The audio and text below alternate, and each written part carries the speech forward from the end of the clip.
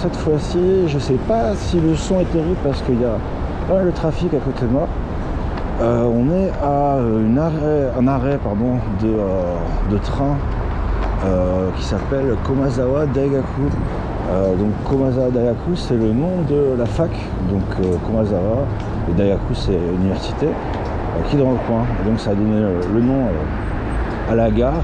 Euh, donc on est sur la Dentoshi euh, qui va de Shibuya à, peu loin, dans l'ouest, qui va jusqu'à Kawasaki, enfin vous pouvez aller jusqu'à Yokohama, je dirais. Euh, peut-être, peut-être pas. Euh, et on est, ouais, on est à 10 minutes de Shibuya peut-être. Euh, L'express s'arrête pas ici. Et donc, euh, qu'est-ce qu'il y a donc à Bah, il y a la fac.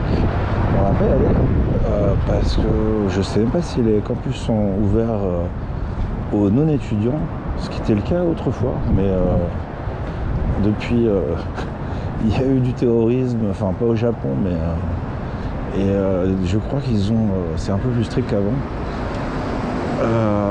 Et je vous raconterai une fois comment j'allais à, à Oyama Daigaku euh, me faire passer pour un étudiant pour manger euh, pour 2 euros. Euh, et donc voilà, donc qu'est-ce qu'il y a euh, à Kawazawa Euh, Il y bah, c'est une petite gare, mais il y a, là vous voyez, il y a le Maruetsu, donc qui ouvert jusqu'à 1h du matin, un gros supermarché, euh, enfin gros, avec des, des fringues, c'est un peu une espèce de prise unique, quoi, monoprix peut-être pour les Parisiens. Euh, Kamdu, là, qui est au sous-sol, c'est un Yakin. Bon, c'est les magasins à 100 yens. Enfin, techniquement, maintenant, c'est 108, je crois. Uniqlo, hein, c'est normal. Voilà. Ici, c'est quoi? C'est une pharmacie? Enfin, euh, parapharmacie. Hein, euh, euh, ouais, voilà. Donc, Kusuli, c'est vraiment le terme générique. Ah, si, là, ils font aussi pharmacie.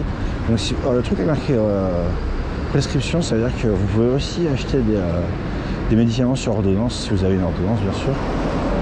Euh, donc là, euh, un petit, c'est un petit Fudosan, donc un, un petit agent immobilier. Là, c'est plus de la vente, location. Donc 50 mètres carrés. Euh, 2003, donc ça va. Et donc c'est avec un... Ah, ça a l'air sympatoche. Avec un, comment dire, un petit loft, enfin une mezzanine. Donc ouais, studio. euh, Ah ouais, c'est, euh, j'étais tout seul, 150 000. Et c'est à 3 minutes de la gare, donc c'est vraiment dans le coin. Et, euh, et ça a l'air vachement lumineux pour le coup. Ah bah ouais, c'est mignon. Et euh, ouais, donc ça vous donne une idée des prix. C'est euh, un peu moins cher. Évidemment, hein, plus on s'éloigne, euh, euh, plus on s'éloigne du centre, moins les loyers sont élevés. hein. Shibuya, ça sera tout de suite euh, beaucoup plus cher. Après, vous n'avez pas nécessairement envie d'habiter à Shibuya même. Enfin, ça dépend où, encore une fois. Puis ça dépend de vos revenus. Mais euh, disons que c'est moins cher euh, sur les gares où le- l'express ne s'arrête pas. Et euh, c'est moins cher, et ben, euh, euh, plus on s'éloigne hein, bah, de- on va dire ici de Shibuya quoi. Et c'est moins cher après plus on s'éloigne de la gare aussi. Donc là 3 minutes à pied, euh, 150 000, 50 mètres carrés, je dirais que c'est pas mal. Si j'étais tout seul ou un petit couple, ça pourrait être intéressant. Enfin, si vous, les avez, bien sûr. Alors, euh, qu'est-ce qu'il y a là? C'est euh, un cabinet d'archi. Donc vous voyez, vous les combinez. hein. Et alors euh, là, bon, j'ai fait en plusieurs parties. On se dirige vers un truc qui est intéressant. Je disais tout à l'heure, c'est qu'est-ce qui est intéressant dans le coin, qu'est-ce qu'il y a à faire dans le coin? Il y a le parc olympique. Donc euh, les JO de Tokyo, c'était évidemment, il va falloir que je recherche dans les années 60, 64, euh, je sais plus. Euh, mais déjà à l'époque, euh, ils avaient déjà eu les JO, hein, mais c'était longtemps. Et ils ont fait des, pas gros travaux euh, pour pouvoir euh, bah, accueillir l'événement, hein, comme c'est toujours le cas. Euh, du monde, euh, JO, euh, exposition universelle, ce,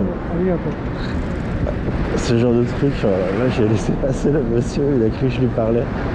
Euh, et euh, ouais, donc ils ont. euh, Il y avait. Je sais pas si le parc existait déjà ou si je pourrais faire quelques recherches et vous mettre ça dans la description. Euh, S'il existait déjà et qu'ils ont rajouté en fait des, infrastructures pour faire du sport, ou s'il a été construit exprès pour ça. Mais en tout cas, il y a il y a vraiment pas mal de trucs quoi. Il y a, vous pouvez aller courir bien sûr. Euh, il y a des trucs pour faire du, ski- track and field, euh, athlétisme pardon. Il y a une salle de sport, de muscu, euh, gym impressionnante qui, et qui est pas chère du tout en plus vu que c'était le. c'est pas une salle, c'est pas une compagnie privée, c'est les, les trucs du quartier quoi. Il y a des terrains de foot, il y a des terrains de tennis, il y a une piscine, il y a un grand skatepark qui je crois est gratuit. Euh, J'en parlais en comparaison de, Shibuya où euh, euh, bah, tout, est devenu payant. Il me semble que c'est encore gratuit et puis c'est assez grand. Il y a des trucs pour apprendre le vélo aux enfants. Donc de, à partir de 3 ans, euh, à 3-4 ans, ou, seul, enfin des, pistes de vélo pour, pour enfants en fait. Et vous pouvez louer des vélos d'ailleurs. Donc c'est vraiment le truc où vous allez croiser des, typiquement des familles euh, le, week-end. Et je suis tout essoufflé. Il faut que je respire. euh. Alors, je sais plus. Non, c'est pas dans, pas dans, un- une vidéo que j'en parlais. C'est dans un épisode de, de Yabai, euh, euh, qui est notre podcast hein, euh, qu'on fait avec Ludo. euh, euh, il n'y en a pas eu depuis un petit moment parce que euh, Covid, naissance, euh, famille, euh, tout ça. Euh, mais ça revient. On a réenregistré. Si ça, vous intéresse. Je parlais des, logements d'entreprise. Et ça, typiquement, alors j'en ai pas la preuve formelle, hein, mais ça y ressemble très fort à un logement d'entreprise. Donc, euh, parlait de cité ouvrière, enfin, ça n'existe plus trop en France, je suppose. La période un peu du, du paternalisme d'entreprise un peu derrière nous. Mais euh, ça, bah, voilà, ça ressemble à ça. Euh, alors, il n'y a pas de jardin ouvrier ou tout comme ça. Mais euh, alors je ne sais pas, j'ai jamais vu personne, donc j'ai l'impression que c'est fermé. Mais là, en tout cas, c'est très très bien situé, hein, parce que vous êtes à, littéralement collé au parc. Alors, a priori, c'est pas très grand, hein, ça a l'air d'avoir été construit dans les années 70, peut-être 80, mais ça m'a l'air fermé. Alors, c'est peut-être peut-être pour les fonctionnaires, par exemple. Euh, les gens ou les personnels de la fac, tiens, peut-être. Euh, J'en ai aucune idée. Mais donc, euh, on va finir sur ça pour, pour cet épisode. Mais vous voyez, voilà, il y a un toboggan, il y a des trucs, hein, c'est clean, mais, mais ça m'a l'air complètement vide. Donc voilà, potentiel urbex, oui, non, je vous laisse juger.